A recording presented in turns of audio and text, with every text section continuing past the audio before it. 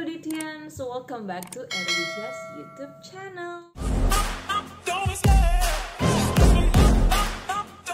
Right, so hari ini kita pengen ngobrol-ngobrol sama teman-teman sekalian tentang bagaimana cara memperbanyak kosakata dalam bahasa Inggris. Nah, ada banyak yang bilang bahwa belajar bahasa Inggris itu kuncinya di vocabulary. Membuat kalimat pun pasti butuh vocabulary, ya kan? Nah, tapi perlu kita ketahui dulu bahwa setiap orang punya cara yang berbeda untuk belajar bahasa Inggris, nambah kosakata. Ada yang dengan cara nonton video-video bahasa Inggris, listening to English songs, English podcasts, mengerjakan soal-soal bahasa Inggris, baca English novels or books, dan banyak cara lainnya. Tetapi kali ini kita akan belajar tips-tips untuk memperbanyak kosakata bahasa Inggris versi eruditia. Right, uh, pastinya cara-cara ini akan efektif buat teman-teman sekalian yang selalu nanya gimana sih cara memperbanyak kosakata bahasa Inggris. Right, remember, tujuan dari mengikuti tahapan-tahapan yang akan aku sampaikan ini adalah untuk belajar while having fun. Tahapan yang pertama, do what you love. Kalau kalian suka nonton English movies, listening to English songs, English podcasts, reading English books, do it. Temukan kosakata bahasa Inggris dari situ yang menurut kalian sulit, kemudian tuliskan kosakata itu beserta kalimat di mana kata itu ditemukan. Contohnya dari aku, I love reading book, so I can learn English by reading books. There's this one book that I'm reading and I find so many difficult English words out of the book. Contohnya satu sentence di sini, He felt astonishment. She was talking about such elementary things as tension with same meaning. Astonishment. Okay, aku nggak tahu apa arti kata dari astonishment. So I write astonishment dan kalimat di mana kata astonishment itu ditemukan. Lalu kemudian cari arti dari kata tersebut. Astonishment artinya heran, terheran-heran, keheranan, takjub. Oke, okay, so I feel astonishment berarti saya merasa takjub.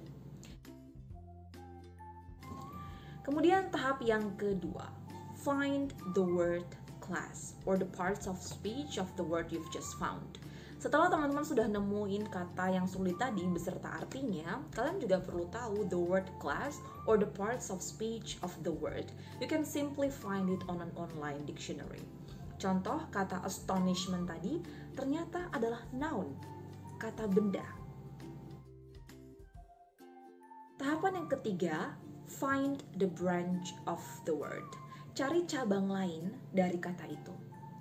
Kata sebelumnya tadi astonishment adalah kata benda, noun. Nah, ayo kita cari jenis kelas kata lainnya dari kata tersebut. Kata kerja dari astonishment atau verb adalah astonish. Kata sifatnya or adjective adalah astonishing. Jika diubah ke adverb atau kata keterangan menjadi astonishingly. See, dari satu kata itu tadi sekarang malah sudah bertambah empat kata baru yang teman-teman ketahui. Tahapan yang keempat, make one sentence out of each class word. Sekarang kita buat bareng-bareng kalimat dari kata-kata yang tadi sudah kita ketahui arti dan kelas katanya. Oke, okay? let's start with astonishment. I feel astonishment whenever I hear his achievement. Yang berikutnya, astonish. My boyfriend never fails to astonish me with his affection. Tahap kelima, use the word.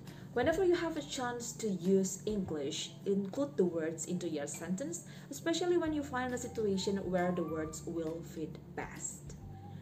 Ulangi tahapan ini terus-menerus saat teman-teman sedang dalam tahap memperbanyak kosakata bahasa Inggris. Jika kebetulan kalian ketemu dengan satu kata menarik yang kalian nggak tahu artinya, follow the steps. Pasti kalian akan lebih ingat dengan kata-kata itu daripada sekedar dapat arti dari kata tersebut.